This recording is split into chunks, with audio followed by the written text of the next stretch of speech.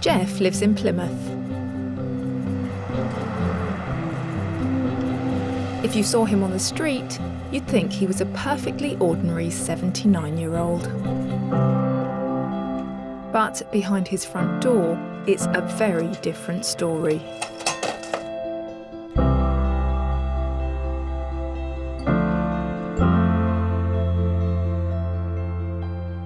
The situation has certainly taken over my life to the extent that I have a sort of dual personality of the me inside the house and the me outside the house, uh, where I behave as though the house is quite normal. Precisely like a secret life. Jeff had maintained that secret life for 20 years. Until a few weeks ago. A bus driver came by and saw a lot of flies in the window. He then told the police. And the police thought, oh, has the inmate of the house died? And so they came along and banged on the door, and there wasn't anybody there. And obviously, I wasn't dead. So they then told the uh, council. The council told me about Jeff's story. Their environmental health officer has issued Jeff with a 42 day order to clear his hoard. His secret is out. And now he's been forced into a corner. Clear or be cleared. I can totally understand why Jeff keeps his hoarding secret.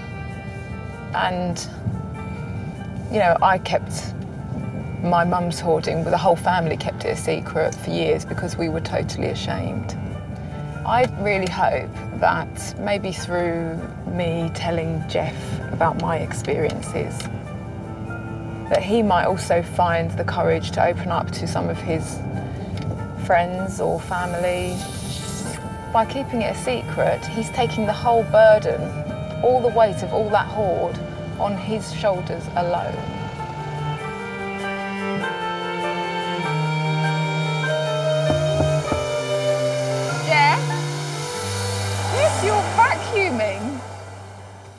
Well, yeah, people do, you know. It's uh, I know it's one of since my... uh, they've been invented about a hundred years. Nice to meet you. Be... Oh.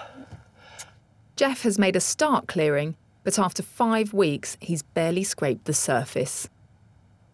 So, what kind of things do you collect, Jeff? The things I collect tend to be things with lots of shiny knobs. I've got a variety of microscopes. I've got a uh, ultraviolet microscope. So, I mean, basically, my interests are enhancement of human capabilities. So, do you think there are benefits to having all the stuff that you've got? Well, it's shades of grey. It's shades of grey. And how do you, does the prospect of other people knowing about this, how does that make you feel?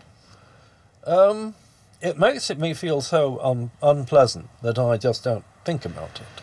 Maybe I can reassure you a little bit mm. because with my mum's hoarding, we went to great lengths to hide it from the outside world because we were ashamed and people just didn't understand. And eventually, when we opened up with it, we were incredibly heartened actually to find out how many other people were in similar situations. We thought it was just us. Do you have any other family and friends that. I've got my sister. Your sister. Who I think requires the praise for putting up with me. Has your sister been to the house? Has she been to visit you no. here? She's one of the ones who I'm trying to conceal it from. Jeff's hoard has spread across all three floors of his house three bedrooms, a loft, and two large rooms downstairs, all rendered useless. When's the last time you were able to sit down in here? Well, uh, I don't think I ever have sat down in here. Having lived in this house for 25 years, you have never been able to sit down and relax in your front room. That's right. How far does that go through? I can only sort of glimpse. All the way But you can't even see the size of the room. Well, you see the, the food museum. If I'm doing well, it's a tin a day. Tin a day keeps the council away. Oh dear. Oh dear. What's that room? That's the bathroom. When The were you able to use work. it last? But About eight years. Jeff, you practically have to do the splits to get through here. Well, there you are, you see. People pay good money to go to health clubs. You're getting this for nothing. What I think we should do, Jeff, is try and formulate some kind of plan as to how we tackle what you want to do in the house. Well, my plan is to try to make it to the back wall of that room downstairs. That will allow me to get at a variety of computer magazines which are must be 10 years old. They can be flung.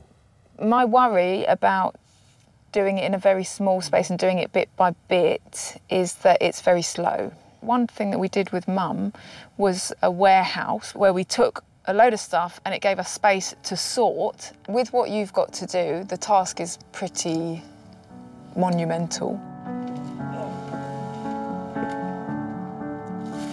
It makes me sad to think that he's been living like this for a long time. And the fact that he's got no one, I think, God, how tragic that he's got to this stage. It's unimaginable, really. Basically, I wouldn't have believed it. I mean, Jasmine knew where I was coming from. It appears that I've got something wrong with me, which lots of other people have got. I'm no longer the unique me.